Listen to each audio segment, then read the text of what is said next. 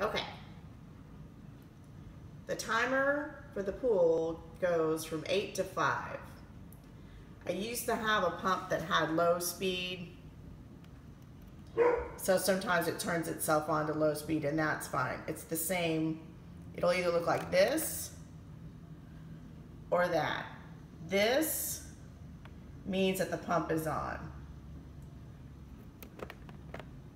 That also means that the pump is on because there's no real low speed. It just thinks that.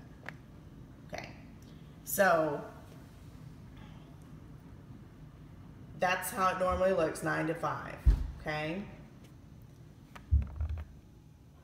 I mean 8 to 5. So if the pump is off, it's going to look like this. So if you wanted to turn it on, you have to hit spa. Okay? And notice it says pump will turn on after delay. That's fine. Okay. And then this is the heater. And you turn it on. Spa heat enabled.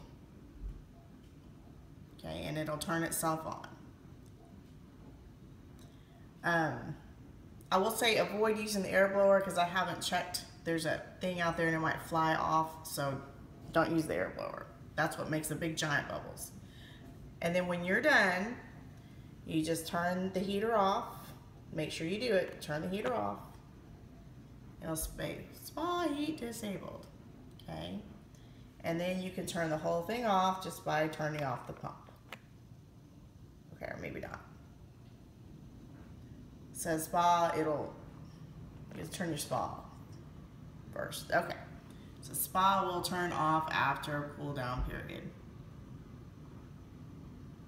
Okay, and then after it's cooled down, if you notice that the pump light is still on, then you can come and turn it off.